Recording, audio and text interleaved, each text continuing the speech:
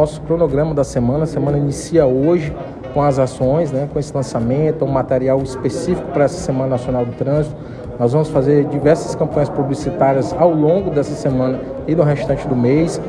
E vamos também fazer muitas blitz educativas. Nós já vemos desde o começo do mês é, intensificando o trabalho educativo nas escolas infantis do município. Nós já fizemos por volta aí já de umas 20 escolas já dentro desse mês.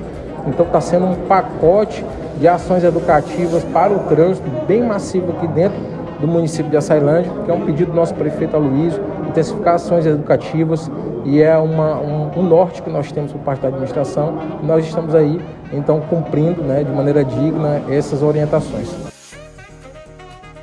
É, nós estamos hoje na abertura do nosso calendário, né, juntamente com parceria com a Prefeitura Municipal, o SMT, com a Polícia Militar, o 26 Paperão da Polícia Militar, com o calendário referente ao Setembro Amarelo.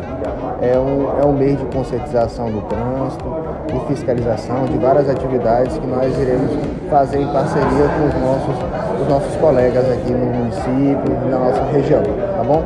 Hoje nós temos aqui uma abertura com palestras, com pessoas da, da nossa sociedade, é, representantes de, de autoescola, representantes de, é, da sociedade civil e etc., para que a gente possa unir forças e buscar uma, um trabalho educativo no nosso município e abranger toda a nossa região.